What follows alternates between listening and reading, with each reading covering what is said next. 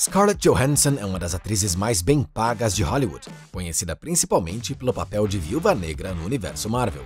Para alguns, ela é a mulher dos sonhos, para outros, uma heroína e modelo. Mas é tão fácil ser uma estrela e símbolo sexual quanto parece à primeira vista? O que Scarlett teve que passar para conseguir seu lugar ao sol? Este é o Biographer, e hoje vamos revelar um lado menos conhecido da vida de Scarlett Johansson.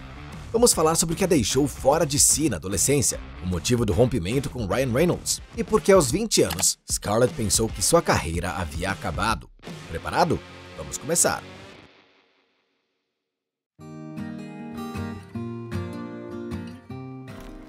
Scarlett Ingrid Johansson nasceu em 22 de novembro de 1984 em Nova York. Seu pai era arquiteto, nascido na Dinamarca, e sua mãe vem de uma família judaica que, segundo algumas fontes, emigraram da Europa Oriental. Scarlett tem uma irmã, Vanessa Johansson, que também é atriz, um irmão, Adrian, um gêmeo, Hunter Johansson, nascido três minutos depois dela, e meio-irmão, Christian, do primeiro casamento de seu pai. Scarlett frequentou a escola primária em Greenwich Village, Manhattan, quando criança, era particularmente próxima de sua avó materna, Dorothy Sloan, contadora e professora de Scarlett. Costumavam passar tempo juntas e Johansson considerava Dorothy sua melhor amiga. Desde cedo, Scarlett mostrou seu potencial criativo, muitas vezes organizando apresentações com música e dança para parentes. Amava especialmente teatro musical e estudou sapateado. Em geral, não é difícil adivinhar o que Scarlett percebeu cedo que queria ser quando crescesse. Tentando aprender o básico de atuação por conta própria, costumava praticar em frente ao espelho e uma vez conseguiu se forçar a chorar, querendo ser como Judy Garland no filme Agora Seremos Felizes. Aos sete anos, Scarlett ficou arrasada quando um agente de talentos contratou um de seus irmãos em vez dela. Decidi naquele exato momento que toda a minha vida estava indo por água abaixo. Apesar da recusa do agente, Scarlett não desistiu do sonho. Além disso, seus pais apoiaram sua escolha de futura profissão. Ela começou a estudar na Professional Children's School, uma instituição educacional particular para aspirantes a atores em Manhattan. Sua estreia profissional foi aos 8 anos em uma produção off-Broadway de Sophistry, com Ethan Hawke, no New York Playwrights Horizons. Sua estreia no cinema foi aos 9. Scarlett viveu a filha do personagem de John Ritter na comédia de fantasia O Anjo da Guarda, lançada em 94. Depois, apareceu nos filmes Justa Causa e Lado a Lado com o Amor. Scarlett também viveu o papel de Amanda no filme Meninas de Ninguém, onde também apareceram seus pais, sua irmã e seu irmão gêmeo. Sua atuação nesse filme recebeu uma indicação para o Independent Spirit Award de melhor atriz principal e críticas positivas. O crítico do San Francisco Chronicle, Mick LaSalle, notou sua aura pacífica e escreveu: Se ela conseguir passar pela puberdade com essa aura imperturbável, poderá se tornar uma importante atriz. Aos 13 anos, Scarlett teve um forte choque emocional quando seus pais anunciaram que iriam se divorciar. Na época, era difícil entender por que eles faziam certas coisas. Sua mãe mudou-se para a Califórnia, enquanto Scarlett, assim como seus irmãos e pai, permaneceram em Nova York. Mais tarde, a atriz contou que naquela época, o irmão mais velho cuidava muito da família.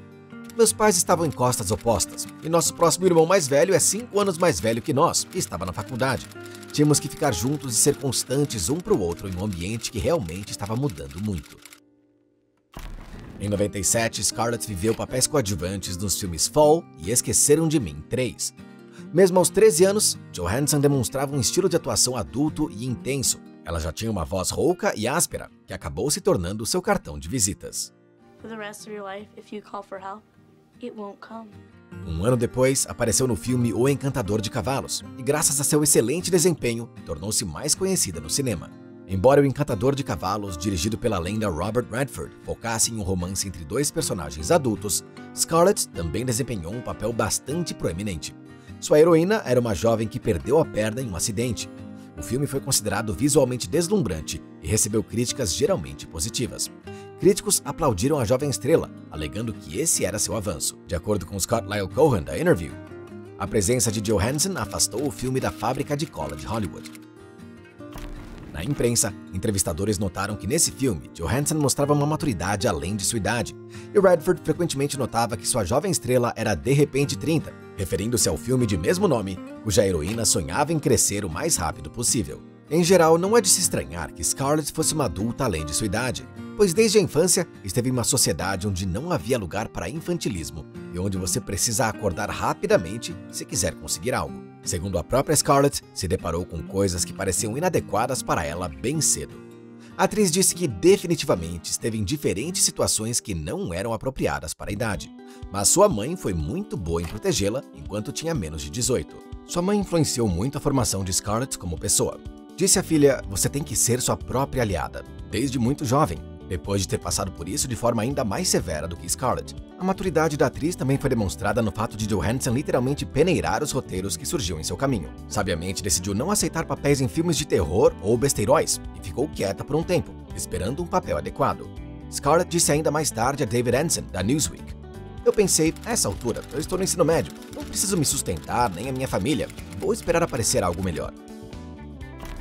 Em 99, se juntou ao elenco de Pig, uma aventura animal, e dois anos depois estrelou o drama O Homem que Não Estava Lá. Para o filme Ghost World Aprendendo a Viver, lançado em 2001, a atriz recebeu elogios e reconhecimento. No ano seguinte, apareceu em Malditas Aranhas.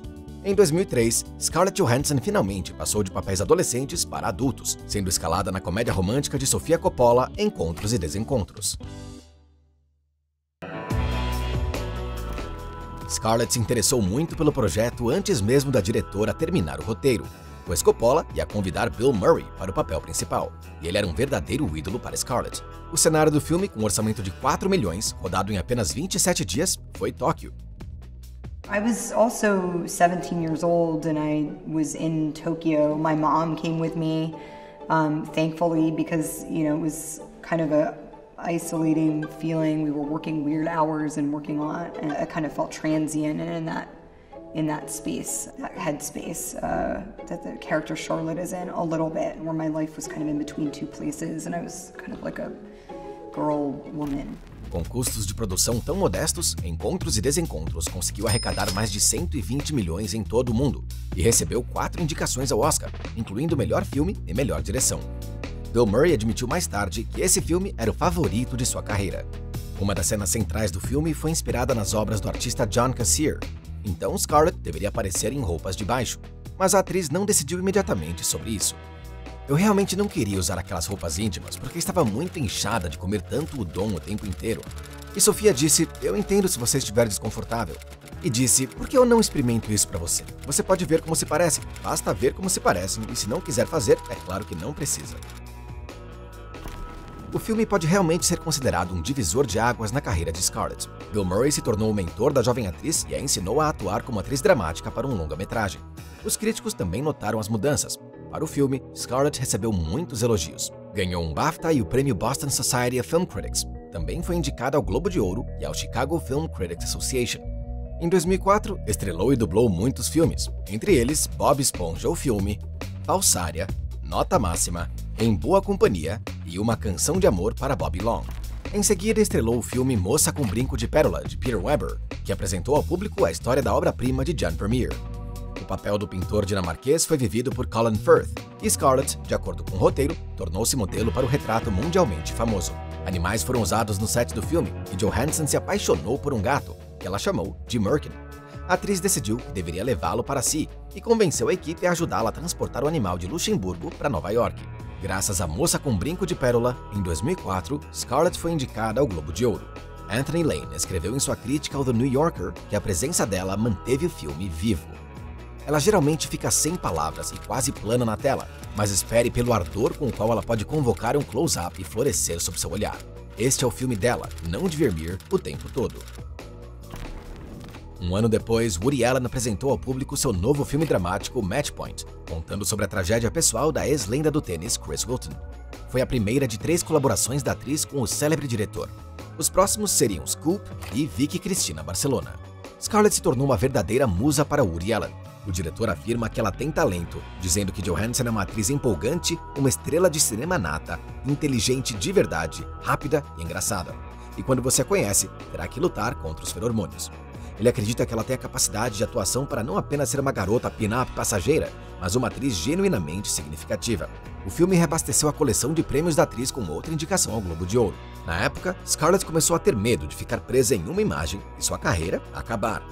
Acho que todo mundo pensou que eu era mais velha e que já atuava há muito tempo. Fiquei meio rotulada nessa coisa estranha de hipersexualização. E eu fiquei pensando, essa é a sua carreira, esses são os seus papéis. E aí eu pensei, é isso? Scarlett acredita que agora as jovens atrizes têm a oportunidade de escolher papéis de uma grande variedade, e isso a agrada, porque na época dela tudo era diferente. Apesar dos temores da atriz, sua carreira não acabou. Em 2005, outro filme em grande escala foi lançado com a participação de Johansson, mas era radicalmente oposto a Match Point, em termos de atmosfera.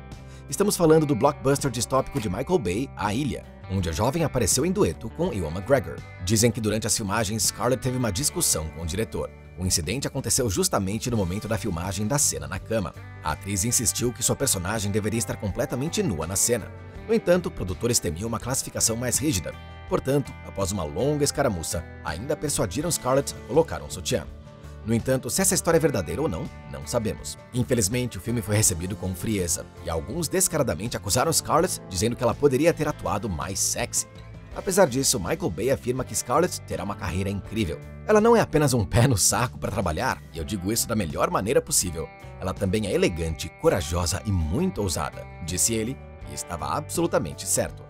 Em 2006, com uma diferença de alguns meses, três filmes bem classificados foram lançados ao mesmo tempo. Scoop, com Hugh Jackman, Dália Negra, com Josh Hartnett, e o vencedor do Oscar O Grande Truque, com o mesmo Jackman e Christian Bale. Os três papéis eram extremamente diversos. A estudante de jornalismo Sandra, ex-prostituta Kay Lane e assistente de mágico Olivia. Christopher Nolan, que dirigiu O Grande Truque, acreditava que Johansson tinha ambiguidade e qualidade blindada. Scarlett admirou os métodos de direção de Nolan e afirmou que gostou muito de trabalhar com ele, o filme foi um sucesso de crítica e bilheteria e foi recomendado pelo Los Angeles Times como um trabalho adulto e provocador. No entanto, alguns críticos estavam céticos sobre a atuação de Johansson. Por exemplo, Dan Jolan, do Empire, criticou seu sotaque inglês. O melodrama O Diário de uma Babá é outro filme bastante brilhante, embora não aclamado pela crítica de Scarlett na época. O filme conta ao público as aventuras de uma garota chamada Annie, que acabou de se formar na faculdade e enfrenta um difícil dilema da vida dedicar-se a seu amado, mas não lucrativo negócio, a antropologia, ou colocar seu sonho no altar da estabilidade material. Em busca de uma solução, ela consegue um emprego para uma família rica, e no decorrer do desenvolvimento da trama, conhece o homem bonito de Harvard, Chris Evans.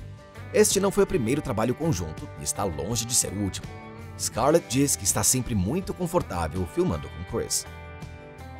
Everybody loves him. And Chris Evans, you've done so many movies. Chris Evans, of course, Captain America. You did um, how many movies now with him? I, we, I think this is our fifth movie. We've been working together since we were, like, I don't know, 17, I think, or something really? like that. Yeah. Wow. So you must know him pretty well.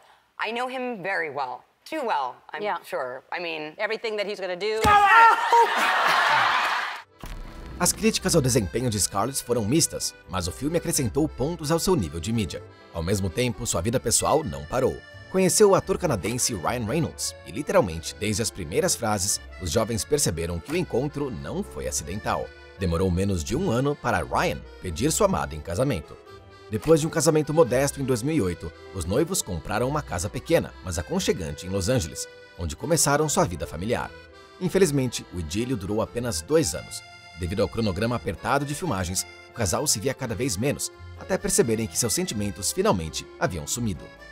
A logística de estar com outro ator é desafiadora. Tem que haver uma compreensão real de como você divide seu tempo, especialmente quando as carreiras de duas pessoas estão indo no mesmo ritmo, ou mesmo que uma pessoa seja mais bem sucedida que a outra, isso também é um desafio. Pode haver uma coisa competitiva. Mais tarde, Scarlett admitiu que tinha certeza de que o divórcio seria inevitável. A primeira vez que me casei tinha 23. Realmente não tinha uma compreensão do casamento. Talvez eu tenha romantizado isso, eu acho, de certa forma. Em 2008, Scarlett Johansson teve novas oportunidades. Os criadores de filmes de ação de super-heróis chamaram a atenção para seu talento.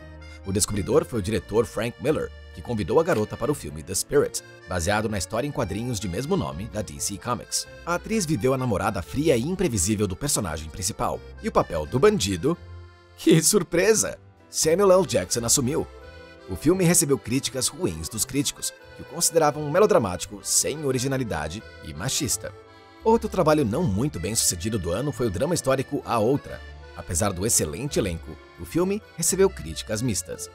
Depois disso, Scarlett trabalhou com Woody Allen pela terceira vez, aparecendo em sua comédia dramática romântica Vicky Cristina Barcelona. Johansson vive uma das amantes do personagem de Javier Bardem, junto com Penelope Cruz e Rebecca Hall. O filme foi avaliado positivamente pela crítica e acabou sendo um dos mais lucrativos da carreira de Ellen. O único papel da atriz em 2009 foi na comédia dramática Ele Não Está Tão Afim de Você. O filme recebeu críticas medianas, mas rendeu bem nas bilheterias. E qual filme dos primeiros trabalhos da atriz você mais gosta? Certifique-se de compartilhar sua opinião nos comentários. Scarlett foi atraída não apenas pelo cinema, mas também pela cena teatral.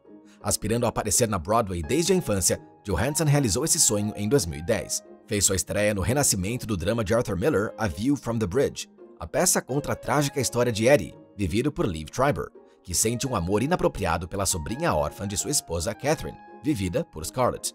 Inicialmente, a atriz recusou a oferta por não querer viver a personagem adolescente, mas o amigo de Johansson a convenceu a concordar com a proposta, e parece que a decisão foi certa para a atriz. A produção e Scarlett, em particular, receberam boas avaliações da crítica. Ben Brantley, do The New York Times, escreveu: Johansson se funde em seu personagem tão completamente que seu limbo de celebridade desaparece. Ela até ganhou o Tony Award por seu papel na peça. Isso acendeu o fogo de muitos anos de debate sobre se é apropriado dar prêmios de teatro para atores de Hollywood, que já tem muitos locais e prêmios para provar seu valor. Em resposta a todas as críticas, Scarlett disse que entende a decepção de algumas pessoas, mas que trabalhou muito por suas conquistas e não vai recusar o prêmio. I, I never really thought about the Tonys because I had I had had never had an experience on Broadway before. I hadn't done theater since I was like a kid, and I was just learning so much really on the stage every night. It was such an incredibly intense experience. Essa experiência abriu os olhos de Johansson para um novo mundo embora a agenda da atriz de teatro tenha se mostrado exaustiva. Mesmo assim, gostou desse estilo de vida. A atriz passou um tempo conversando com a equipe na entrada de serviço e passou a fazer parte do lado errado da Times Square. Sei que parece clichê, mas foi a realização de um sonho. Simplesmente acho fascinante. Mais tarde, em 2013, voltou aos palcos para atuar na peça Cat on a Hot Tin Roof, que foi uma das obras mais populares de Tennessee Williams. Mas dessa vez, a crítica não foi tão favorável à atriz. Tom Geyer, da Entertainment Weekly, escreveu que Johansson trouxe um espírito de luta feroz para sua personagem, mas Joe Zimanovich, do Daily News, chamou sua atuação de alarmantemente tediosa. A atriz falou sobre trabalhar na Broadway dessa forma.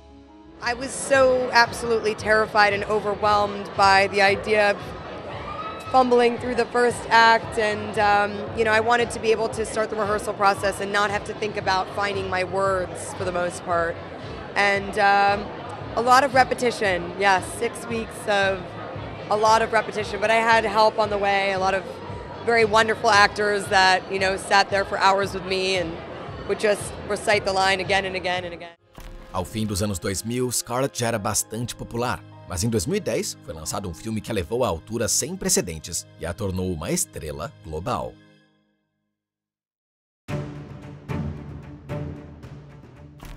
Scarlett viveu a viúva negra em Homem de Ferro 2, de John Favreau. A atriz admitiu que quando criança não gostava muito de quadrinhos de super-heróis, preferia livros e filmes.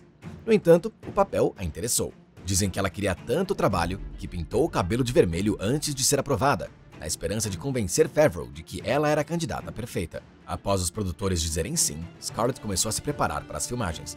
Passou muitas horas na academia para aprender a fazer truques e passou por um treinamento de força incrível. Foi um momento incrível para mim, porque eu tinha, sei lá, 23, 24 anos quando fui escalada para Homem de Ferro 2. Nunca tinha pisado numa academia e tive cinco semanas para me preparar para essas enormes sequências de acrobacias. Mais tarde, a atriz disse que o personagem ressoou com ela e ela admirou os traços humanos da sua super-heroína. O universo cinematográfico do qual ela passou a fazer parte fascinou completamente Scarlett. A atriz, ao que parecia, sabia exatamente o que a esperava trabalhando no papel de Natasha Romanoff. Ela viu esboços de figurinos e conversou com quem os desenhou. No entanto, o primeiro contato com o traje da viúva negra foi um choque para ela. Scarlett disse que estava literalmente pasma. O traje parecia não ter sido costurado, mas construído. E isso não estava tão longe da verdade. Tive que aprender a andar de novo nela, depois correr, pular e fazer truques. Além disso, mesmo depois de duas semanas de filmagem, ainda passei metade do dia apenas me acostumando com o macacão.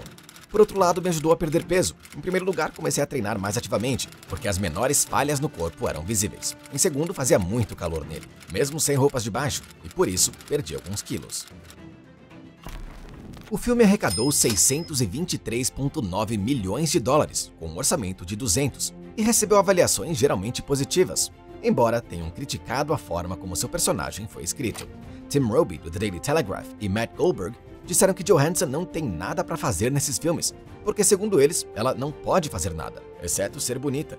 Quanto a Scarlett, ela não gostou de como sua personagem foi apresentada no filme.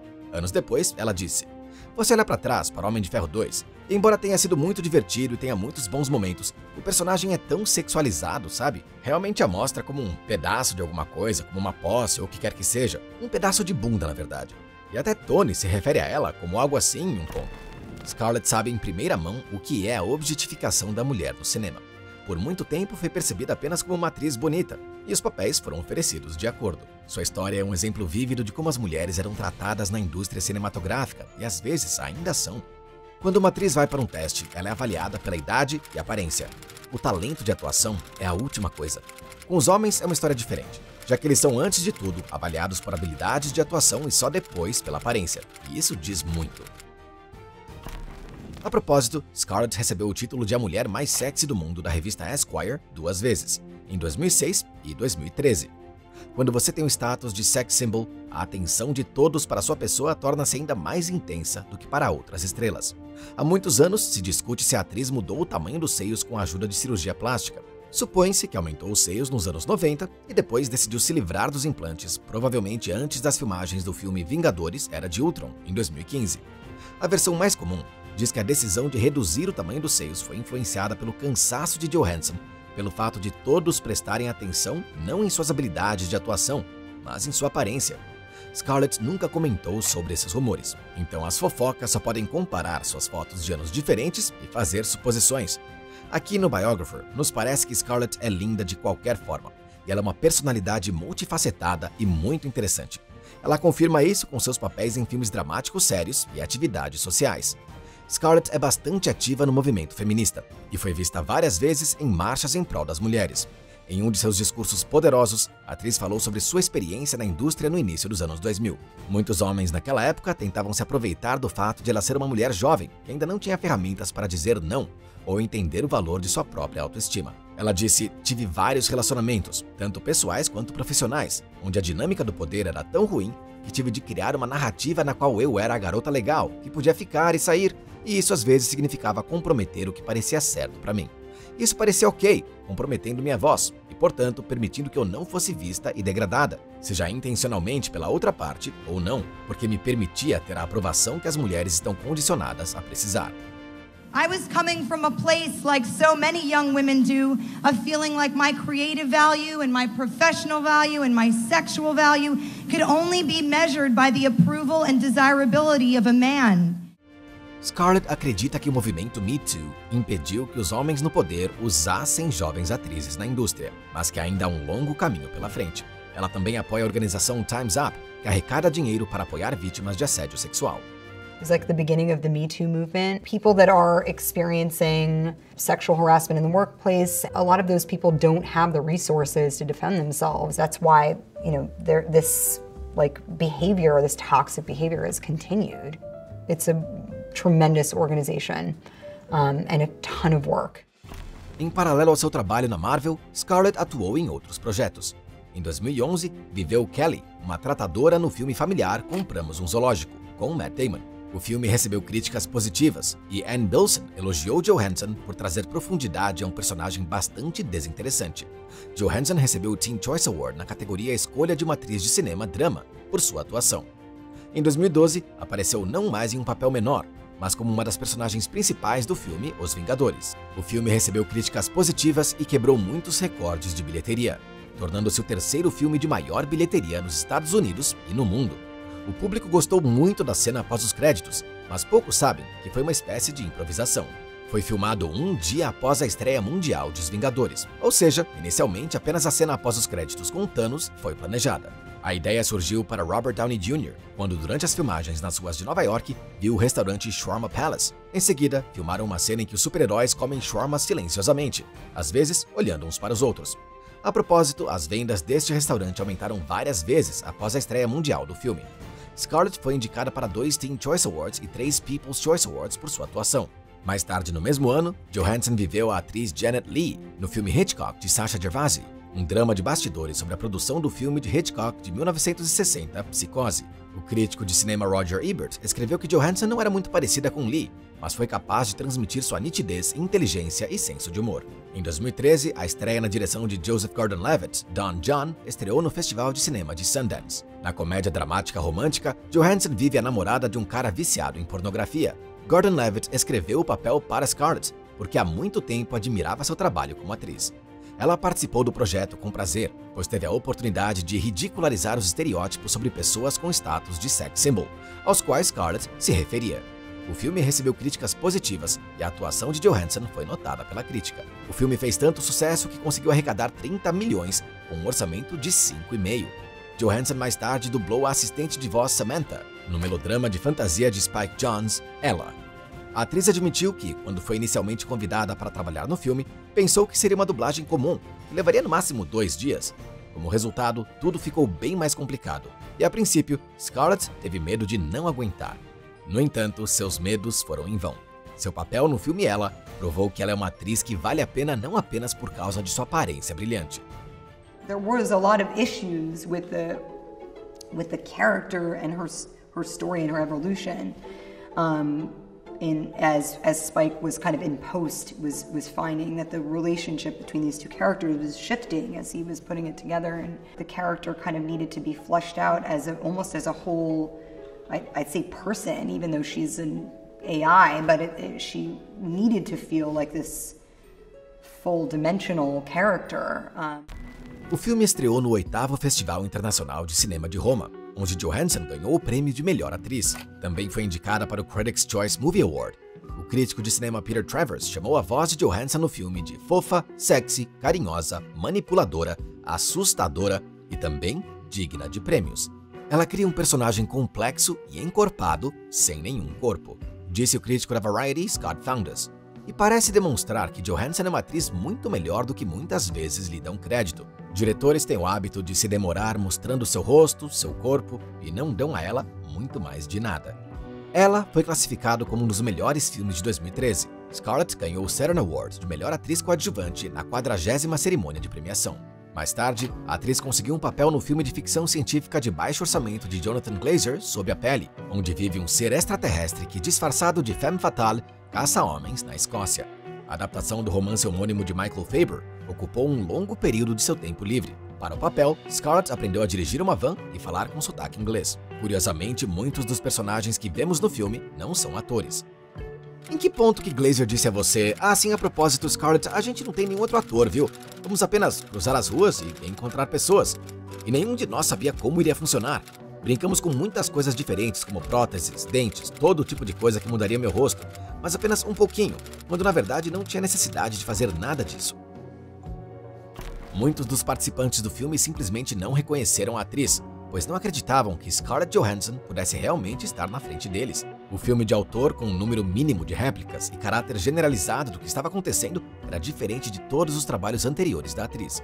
Por que traz tantas questões? Ela admitiu com entusiasmo após o lançamento do filme. Um dos jornalistas com quem conversei hoje, acabamos falando sobre a relatividade do tempo, considerando que normalmente é como: então, o que você acha sexy em um cara? Ou, se você tivesse um superpoder, qual seria? O filme foi uma lufada de ar fresco para ela uma oportunidade de se testar em algo fora do padrão. Mas a reação do público ao filme no dia da estreia no Festival de Cinema de Veneza assustou Scarlett. Ao final, quando as luzes se acenderam, havia um som de pessoas aplaudindo e vaiando ao mesmo tempo, mas com o mesmo entusiasmo, lembra a atriz. Eu não sabia como reagir a isso. Acho que estava apenas, não diria perturbada, mas meio chocada. Olhei para Jonathan e ele estava cheio de alegria, absolutamente emocionado. Saímos da sala e eu pensei, isso foi tão estranho. E Jonathan disse: Essa foi a melhor reação. Esse foi o som mais incrível que eu já ouvi na vida. O filme recebeu inúmeros elogios e prêmios e ficou em 61º lugar na lista dos 100 maiores filmes do século XXI da BBC. Aaron Whitney, escrevendo para The Huffington Post, considerou esse papel a melhor atuação de uma atriz na época. O filme rendeu a Johansson uma indicação ao British Independent Film Awards.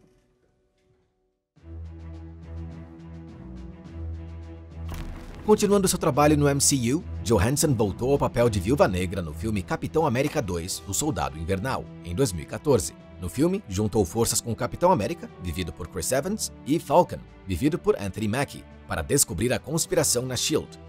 Johansson e Evans escreveram seus próprios diálogos para várias cenas em que atuam juntos. Scarlett gostou que dessa vez precisava usar sua astúcia e engenhosidade, e não sua beleza. No novo filme, descobriu-se que a atriz e sua heroína têm ainda mais em comum. Quando Steve Rogers e Natasha Romanoff encontram um supercomputador de Zola, ele identifica Natasha como tendo nascido em 1984, mesmo ano de Scarlett. O filme foi um sucesso comercial e de crítica, arrecadando mais de 714 milhões em todo o mundo. O papel tradicionalmente rendeu indicações a Johansson para os Saturn Awards, MTV Movie Awards e Teen Choice Awards. Em 2015 e 16, Johansson viveu novamente a Viúva Negra nos filmes da MCU, Vingadores Era de Ultron e Capitão América Guerra Civil. Durante as filmagens do primeiro filme, uma mistura de close-ups, fantasias de camuflagem e efeitos visuais foram usados para esconder sua gravidez. O pai é Romain Doriak, um jornalista que Scarlett conheceu em 2012 graças ao tatuador em comum. Também devido à gravidez de Johansson, três substitutas estiveram envolvidas no filme, o que causou muita confusão entre outros atores. Elas eram tão parecidas com Scarlett que Chris Evans chegou a dizer que seriamente pensava que estava falando com Johansson, mesmo não sendo ela. No. Come on. She God, you don't know anything no. about me. It's over. No. Quanto aos truques, a atriz tentou realizar uma parte significativa deles por conta própria. Por exemplo, nenhuma das substitutas foi autorizada a dirigir uma motocicleta por Johansson. Truques completos não impediram Scarlett de dar à luz uma menina saudável em 2014, chamada Rose Dorothy Doriak. O trailer do filme foi assistido 34 milhões de vezes no YouTube nas primeiras 24 horas, quebrando assim o recorde que antes pertencia ao trailer de Homem de Ferro 3. Por Capitão América Guerra Civil, Johansson recebeu uma segunda indicação ao Critics' Choice Movie Awards e sua quarta indicação ao Saturn Award. Também em 2016, apareceu no bem-sucedido filme de comédia dos irmãos Coen, Ave César.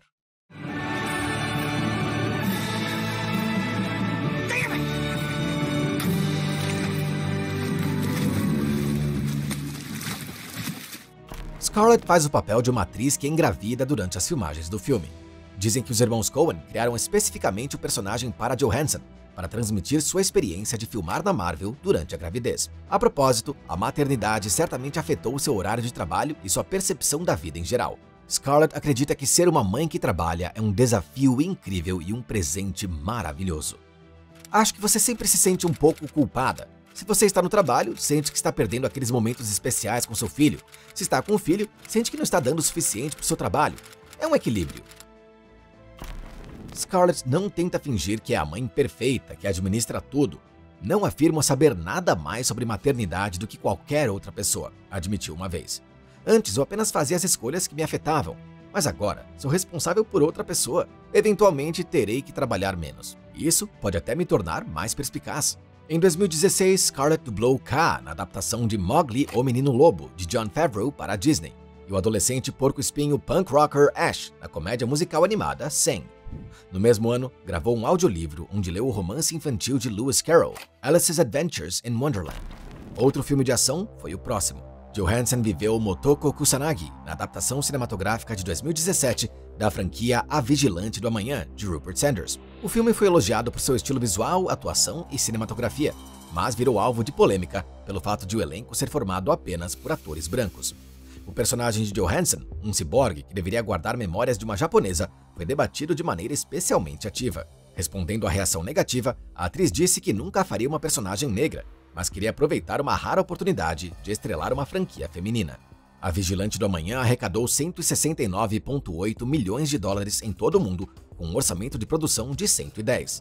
Em março de 2017, Johansson apresentou o Saturday Night Live pela quinta vez, tornando-se a 17ª pessoa e a quarta mulher a entrar no prestigioso clube de comédia de sketches da NBC Five Timers. Scarlett admitiu que participar do SNL foi uma das experiências singulares mais gratificantes de sua carreira, e o processo de filmagem não era tão simples quanto pode parecer à primeira vista. A parte mais desafiadora de apresentar o SNL era a resistência necessária.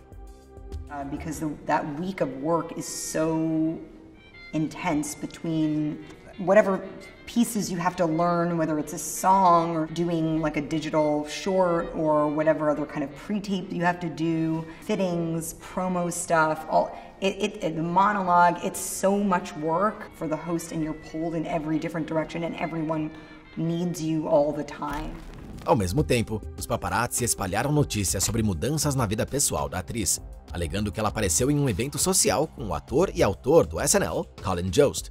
Mais tarde, soube-se que Scarlett estava se divorciando do marido. Este é um casamento irremediavelmente arruinado. Foi assim que Scarlett descreveu seu relacionamento com Doriak. Johansson originalmente buscaria a custódia exclusiva de sua filha. Ao mesmo tempo, Doriak estava determinado a fazer o mesmo. Ele deu a entender que claramente Scarlett não era a melhor mãe, que sempre cuidou apenas de si mesma e de sua carreira. A história terminou com o fato de Scarlett fazer uma declaração final sobre a história que se tornou pública. Como mãe dedicada e pessoa reservada, e com total consciência de que um dia minha filha terá idade suficiente para ler as notícias sobre si mesma, gostaria apenas de dizer que nunca, jamais comentarei sobre a dissolução do meu casamento. Como resultado, foi decidido que Rose Dorothy poderia passar tempo com a mãe e o pai. A menina não precisava se preocupar com a separação dos adultos, como Scarlett já teve que se preocupar. Anos depois, refletindo como é ser mãe solteira, Scarlett disse: Eu senti isso no passado, há tanta solidão em ser mãe solteira. Obviamente, são muitas coisas diferentes ao mesmo tempo, mas pode haver uma solidão e esse sentimento constante de dúvida, de que você não sabe o que diabos está fazendo e não tem mais ninguém com quem falar a respeito. Talvez você tenha dúvidas sobre a sua vida, como vim parar aqui. Não é o tempo todo, mas esses momentos surgem e eles surgem em momentos estranhos. Enquanto isso, seu romance com Colin Jost se desenvolvia rapidamente. Eles se conheceram há muitos anos quando Scarlett apresentou o SNL pela primeira vez, e Colin trabalhava como roteirista em seu primeiro ano. Se viam de vez em quando, mas depois a atriz teve relacionamentos com outros homens. Portanto, embora tenha notado a atratividade de Jost, não deu importância a isso. Foi apenas anos depois que as estrelas se alinharam e eles puderam finalmente ver algo especial um no outro. And I just want to say that this place means so much to me. I have so many friends here, and I met the love of my life here. Merry Ele é muito charmoso, atencioso e romântico, disse Scarlett em uma entrevista em 2019. Bom, o primeiro presente do amante estava longe de romântico. Um dia, Colin deixou no apartamento dela um sapo touro empalhado que tocava banjo. I, I guess I was in the room. He left to go to work or whatever. When I came out, it was just sitting on the floor and with a little card that said like "Hi Scarlett" or something like that. It was just so creepy. And then I tried to get rid of it, but I felt bad throwing it away because it was the first present he got me. And so he would just move it around to different parts of my house. Mas é por isso que ele é um comediante. Em 2018, a atriz novamente incorporou a imagem da viúva negra na tela em Vingadores Guerra Infinita. Um ano depois, apareceu em Vingadores Ultimato, que por muito tempo foi o filme de maior bilheteria de todos os tempos. Quer falar sobre a escala? Dois filmes foram filmados um a um. As filmagens começaram no final de janeiro de 2017 e duraram até meados de julho. Scarlett ficou tão apegada à sua personagem e ao universo cinematográfico da Marvel que ofereceu a Chris Evans para fazer tatuagens idênticas. Outros Vingadores também gostaram da ideia então, logo, tatuagens semelhantes apareceram nas mãos de Robert Downey Jr., Jeremy Renner e Chris Hemsworth. A tatuagem é um logotipo modificado dos Vingadores com o número 6 dentro, de acordo com o número de super-heróis da equipe original. Apenas Mark Ruffalo recusou a ideia. Bom, é bem a cara do Bruce Banner, não é não? O lançamento de Vingadores Guerra Infinita ocorreu 10 anos após o lançamento do primeiro filme do universo cinematográfico da Marvel, Homem de Ferro, de 2008. Durante o período, a Marvel lançou 18 filmes, bem como 11 séries de TV. Para referência, se o MCU fosse humano, seria uma criança com idade suficiente para estar na quinta série. Refletindo sobre o caminho da sua heroína na franquia, Scarlett relembra que inicialmente Natasha era tratada exclusivamente como um enfeite. Porém, Scarlett a via de maneira diferente. Acho que na verdade Natasha usa sua sexualidade como um meio de sentir, meio que manipular uma situação, então, ser coquete e astuta, e aí ela arranca suas pernas. Ela vai ser sedutora dessa maneira e esse é o poder dela. O poder está em sua sexualidade. Então, isso mudou com o tempo, disse Johansson.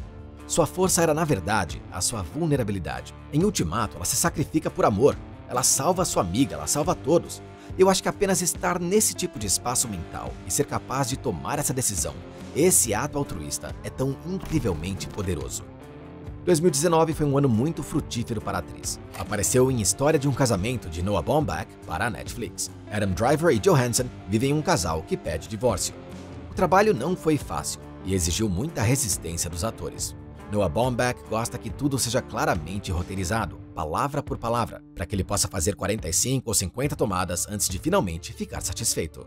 You know that that's it, and every every hesitation and every unfinished sentence and everyone talking over one another is all completely scripted and nothing is improvised. Um, and nothing he, is improvised in that movie. Not a single word. You guys both need Oscars.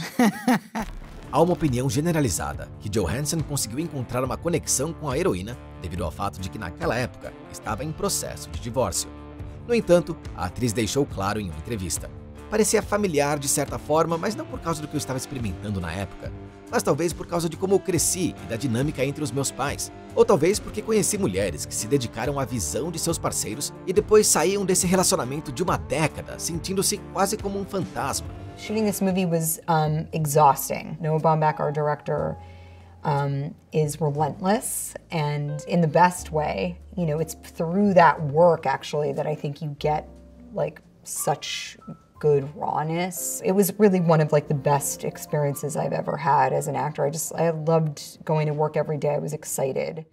No mesmo ano, a atriz conseguiu um papel menor na sátira de Taika Waititi, Jojo Rabbit. Ela incorporou na tela a imagem da mãe do personagem principal, que abriga uma menina judia na Alemanha nazista. Waititi modelou o personagem a partir de sua própria mãe. O filme combina de forma surpreendente a comédia com o contexto dramático da história. What? I love my country. I'm the biggest Deutsche fan, German fan. I'm a, I'm a, I'm a, I'm a, I'm a, I'm a, I'm a Deutsche path. I'm a, I'm a, I'm a, I'm a, I'm a Germaniac, is what I am. I'm a Germaniac. Este é realmente um dos papéis mais poderosos de Scarlett. Ela foi capaz de incorporar uma imagem complexa na tela, pelo qual foi recompensada. Recebeu suas duas primeiras indicações ao Oscar por seus papéis em História de um Casamento e Jojo Rabbit, tornando-se a 12ª atriz indicada a dois Oscars no mesmo ano. Também recebeu duas indicações ao BAFTA por esses filmes e uma indicação ao Globo de Ouro por História de um Casamento. A participação em filmes de sucesso permitiu que Johansson liderasse a lista da Forbes das atrizes mais bem pagas em 2019. Aquele ano foi frutífero não só no cinema, mas também na vida pessoal da atriz. Havia rumores de que ela se preparava para um casamento com Colin Jost. Eventualmente foi confirmado pelo agente de Scarlett. Mais tarde, a atriz apareceu na Comic Con, onde exibiu um anel de noivado com um enorme diamante. Se casaram em 2020 em uma cerimônia privada com parentes e amigos mais próximos, seguindo as precauções relacionadas ao Covid-19.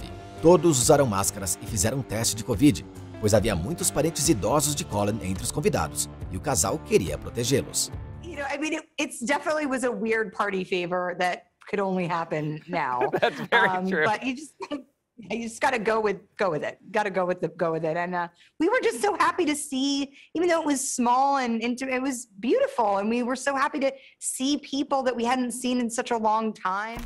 O desejo do casamento deles era ajudar a fazer a diferença para idosos vulneráveis neste momento difícil. Assim, todos que desejassem parabenizar o casal se ofereceram para fazer doações ao Meals on Wheels, programa que entregava refeições em casa para pessoas que não tinham condições de comprar ou preparar suas próprias refeições. Após um ano de ausência das telas, Johansson voltou no papel de Viúva Negra em um filme solo em 2021. O filme se passa após os eventos de Capitão América Guerra Civil, onde a personagem de Johansson está fugindo e também é forçada a confrontar seu passado.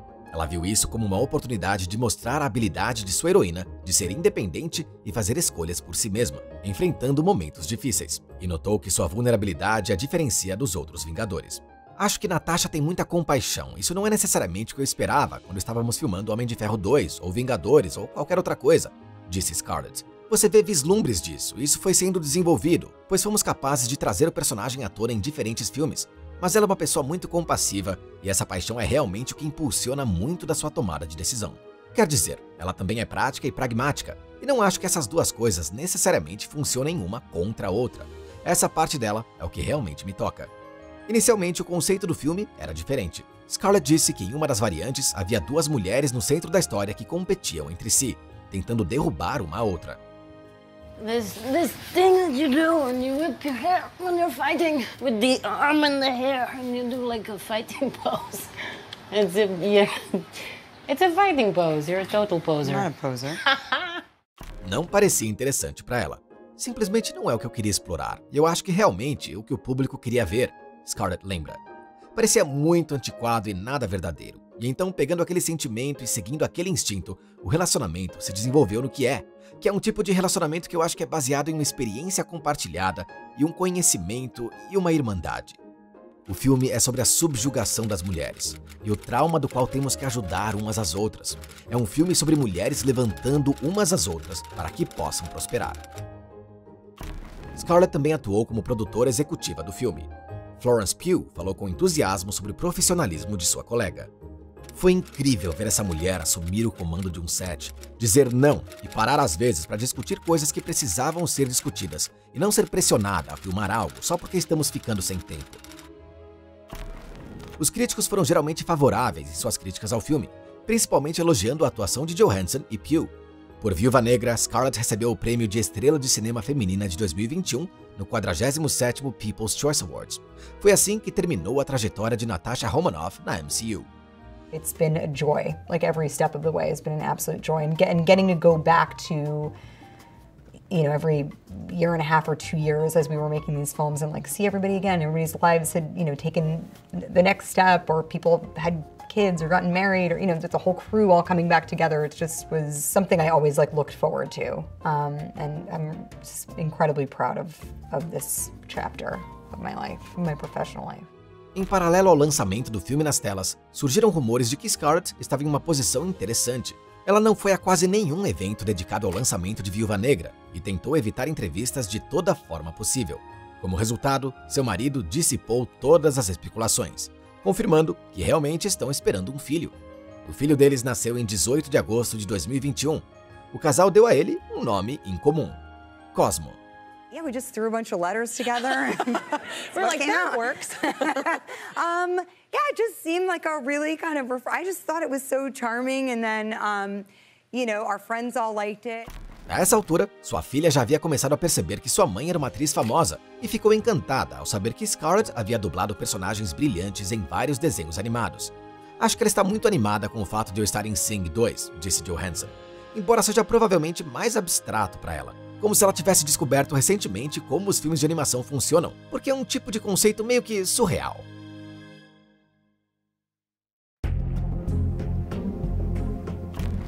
Em 2021, os fãs ficaram chocados com a notícia de que Johansson havia processado a produtora Disney. O motivo do processo foi que o filme foi lançado nos cinemas e na plataforma Disney Plus ao mesmo tempo. Isso, segundo a atriz, viola seu contrato. Scarlett esperava que seu salário para o filme fosse em grande parte baseado na bilheteria do cinema. O processo observou que, inicialmente, os representantes de Johansson pediram garantias da Disney e da Marvel de que o filme solo sobre Viúva Negra seria exibido apenas nos cinemas, apesar das propostas da empresa de lançá-lo na plataforma Disney Plus e aumentar o número de assinantes. A Disney respondeu a isso da seguinte forma: entendemos perfeitamente que o desejo de Scarlett de estrelar esse filme é baseado na condição de que o filme seja massivamente exibido nos cinemas, como nossos outros filmes. Entendemos que se o plano mudar, precisaremos discutir isso com ela e chegar a um entendimento, já que o acordo é baseado em uma série de bônus de bilheteria muito grandes.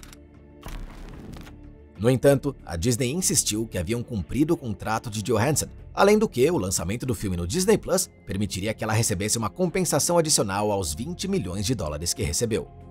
O pedido é infundado. O processo causa particularmente tristeza e alarme por ignorar insensivelmente as terríveis e duradouras consequências globais da pandemia de Covid-19, disse a empresa.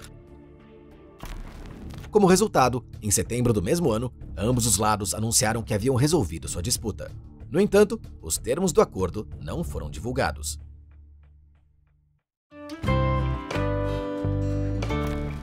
Nem todos sabem que Scarlett Johansson tenta construir uma carreira musical há muitos anos.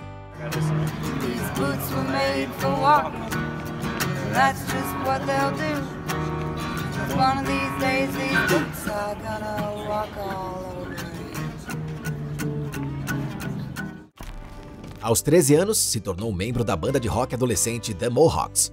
A banda consistia exclusivamente de garotas que davam shows em concursos de talentos locais e clubes de Nova York. No entanto, três anos depois se separaram devido a diferenças criativas. Depois, houve a banda de rock independente The Itch and Speechless, liderada pelo irmão de Scarlett, Hunter. Após a separação dos Speechless em 2003, Johansson decidiu construir uma carreira solo. Em 2006, gravou uma versão cover de Summertime para a compilação Unexpected Dreams. No ano seguinte, Pete Yorn convidou Johansson para gravar um álbum conjunto. Segundo o músico, ele teve muito medo de Scarlett não saber cantar e até concordou com Zoe Deschanel por precaução, mas foi em vão.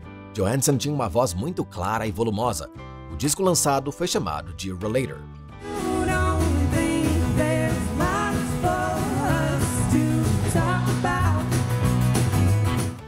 Primeiro álbum de Scarlett, intitulado Anywhere I Lay My Head, foi lançado em 2008 pela Atco Records e incluía covers de Tom Waits. Os críticos avaliaram de forma mista o trabalho de Johansson. Por exemplo, a Pitchfork deu ao álbum uma pontuação de 5,5. Sempre amei cantar. Quando era pequena, queria participar de musicais e todo esse tipo de coisa. Disse Johansson à revista Interview. Então, fazer um álbum parecia uma aventura realmente emocionante para ela. Em fevereiro de 2015, Scarlett formou uma banda chamada The Singles, com Est Haim, do grupo Haim, Holly Miranda, Kendra Morris e Julia Haltigan. O primeiro single da banda foi chamado de Candy.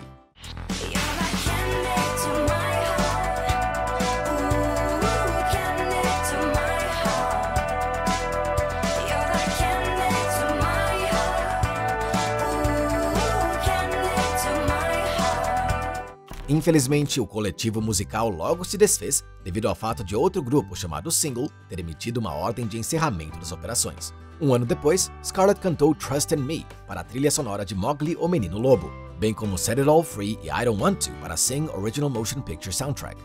Em 2018, Johansson colaborou com Pete Yorn novamente para um mini-álbum chamado Apart, lançado em 1 de junho. É improvável que sua carreira musical possa ser considerada muito bem sucedida, mas os melhores dias de Scarlett ainda estão por vir. Antes de passarmos para o próximo capítulo, sugerimos que você clique no botão de inscrição e no sininho para não perder o lançamento de novos vídeos sobre suas celebridades favoritas. Inscreva-se e continuamos.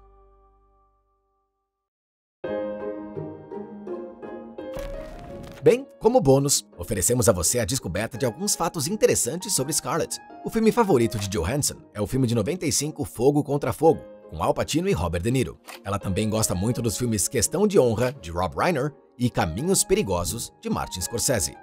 Johansson é dona de uma loja de pipoca gourmet em Paris e também adora fazer cupcakes, considerando isso o seu superpoder. Ela é uma fumante inveterada. Afirma que começou a fumar aos 15 anos Desde então, ela tenta, sem sucesso, quebrar esse mau hábito. A atriz tem medo de tudo aquilo que voa e rasteja. Pássaros e baratas foram mencionados especificamente mais de uma vez.